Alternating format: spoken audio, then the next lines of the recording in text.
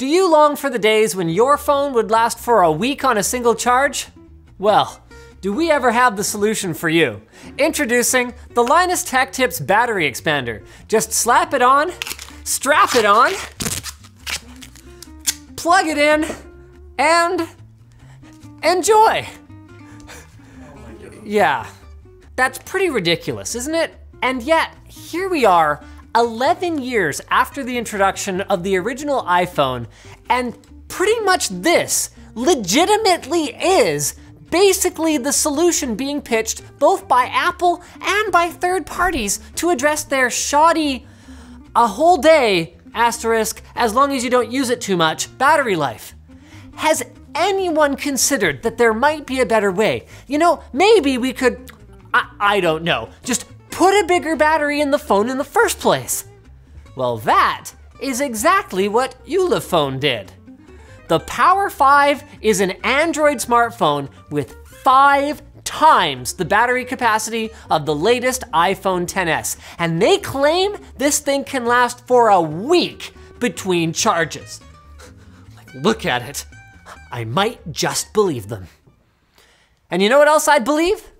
That I'm about to tell you about the Trident Z Royal Series DDR4 from G.Skill. It features a polished aluminum heat spreader that's available in both gold or silver and a crystalline light bar that radiates beautiful RGB. Check it out at the link below.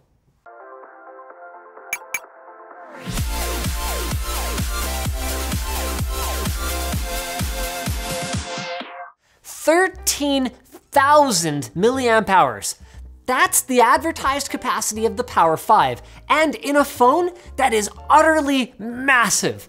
Like to put that in perspective, the latest iPhone XS's battery is 2600 milliamp hours. The Pixel 3 XL weighs in slightly thicker at 3400 milliamp hours, and even the Note 9, which Samsung advertises as all day, has a mere 4,000 milliamp hour battery in it. That puts the Power 5 at 5 times, 3.8, and 3.25 times larger capacity than these phones respectively. That's a lot of juice.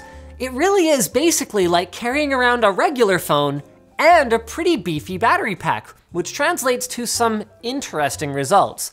But let's talk a bit about the rest of the phone first. It's pretty much your standard affair budget offshore Android device with a 6 inch 1080p screen that manages to be unremarkable both in terms of image quality and feel, a relatively slow 8-core CPU, somewhere around the level of a OnePlus 3, and North American cellular band support that's a little bit limited. As for aesthetics, some people are probably actually gonna quite like this, but I think it suffers from kind of a dated appearance. Jake got LG G4 vibes from the back, and as for me, I'm reminded of those leather cases that people used to get for their really old brick phones. You know, like the really old ones, the ones with the little like flip out mouthpiece and the antenna that comes up. Brandon, do you, do you see that at all? Yeah, right? Yuck. Other than that, it doesn't really seem like anything special. That is until you pick the thing up the sheer girth, and more notably, the weight of it is like nothing that I've experienced in a modern phone. Again, we need context for this. The Power 5 is exactly twice as thick as the Pixel 3 XL, and the phone weighs almost three quarters of a pound. That is 330 grams for the metric folks out there.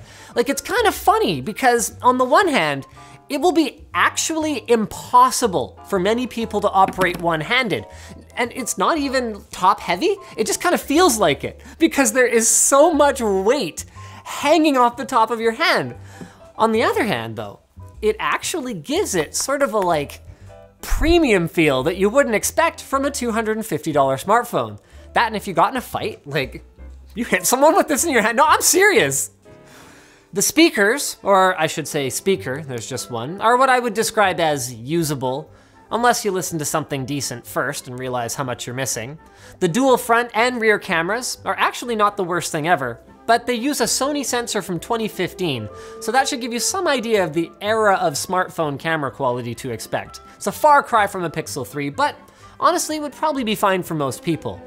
That is unlike the fingerprint sensor, which only seems to work a fraction of the time no matter how many times we tried to set it up. And even with all five fingerprint slots and software used by the same finger. With that said, at least when it does work, you are in for a treat. Just kidding, it's really slow. But to be honest, I think a lot of people could probably make those compromises for the added stamina that this phone affords, if that's important to them. Like let's say you're the kind of person who regularly flies between Washington DC and Moscow for work.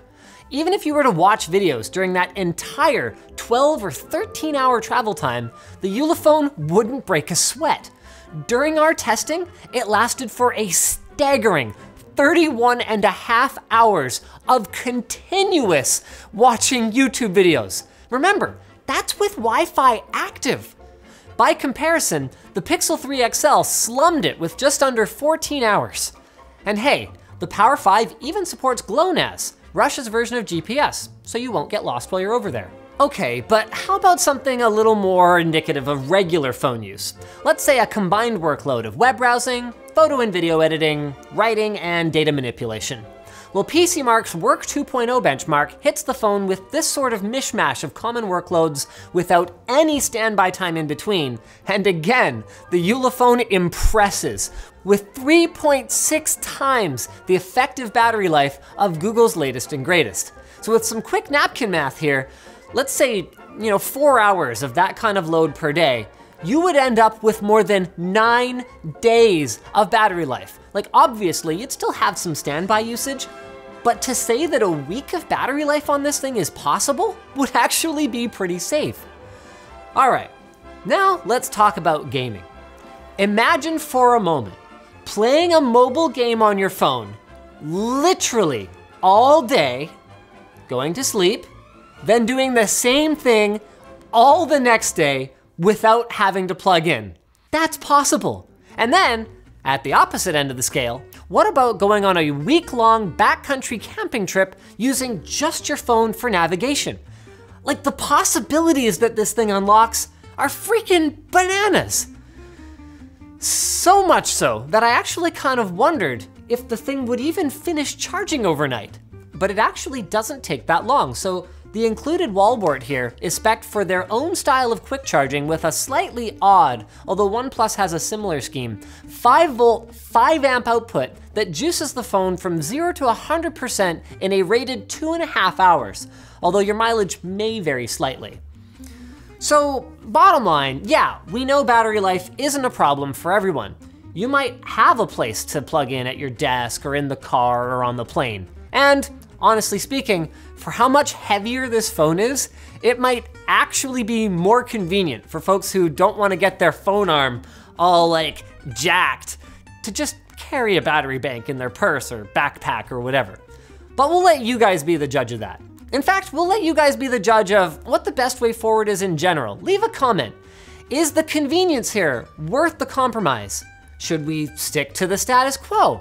Or should we maybe try and find a middle ground? Like I personally have wanted for a long time to see a, a 6,000 or 7,000 milliamp hour phone with like an endurance edition from a, a tier one manufacturer like Samsung or Apple or Google. Am I ever gonna get that? Probably not. But what I will get is this sponsor message for iFixit iFixit's been helping people fix PCs, laptops, phones, and all kinds of electronics for years. And we've actually been using their tools to do just those things for, well, years as well. And you can get your fix on with iFixit's new line of Marlin screwdrivers. Each fixed blade screwdriver features an ergonomic, knurled, rubberized handle with a swivel top, plus a black oxide coated tip so it hangs onto tiny screws with a steel grip. The set case lid is held in place magnetically and can be used as a sorting tray, and it's manufactured in Germany and backed by iFixit's lifetime warranty. So don't hesitate. Stop giving away money having someone else repair your electronics when you can just do it yourself with a Marlin screwdriver set and the great guides over at iFixit.com. It's just $24.99, less than what you'd often pay for just one repair done by a third party. Go check it out. So thanks for watching, guys. If you disliked this video, you can hit that button, but if it was awesome, hit like, get subscribed, or maybe consider checking out where to buy the stuff we featured at the link in the video description. Also down there is our merch store, which has cool shirts. Oops, not like this one. Like this one! And our community forum, which you should totally join.